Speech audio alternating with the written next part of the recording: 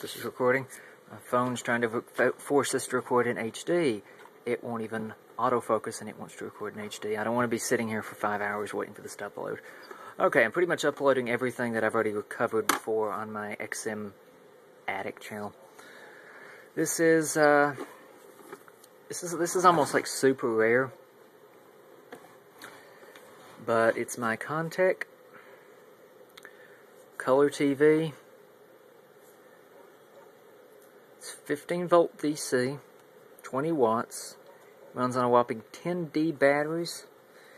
I'm not sure when it was manufactured. I'm going to have to say probably mid-80s based on the design.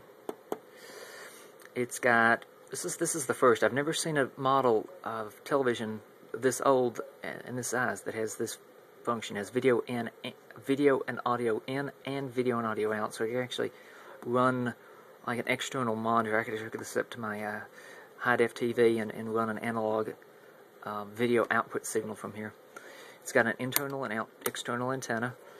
It's got 300 ohm connections for both uh, VHF and UHF. Of course, a lot of good that does nowadays with the the Dagum DTV conversion. I'm 26, although I might sound a little bit older, but uh, it's common as far as my wording of what I said. Anyway, it's a full color TV, 7 inch, with AM FM uh, radio full VHF and uh, VHF high and low and UHF bands.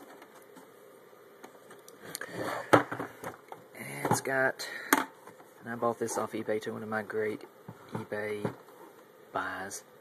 Someone actually carve their their social in here.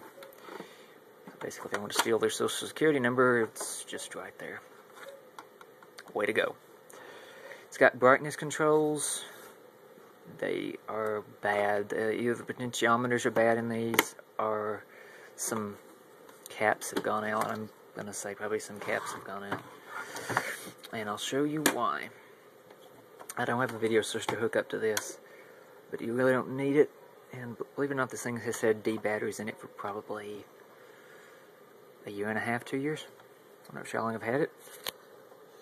But it works. Now, see this line? This line, the video should be going all the way to the far right. And it's also just a little under the top edge.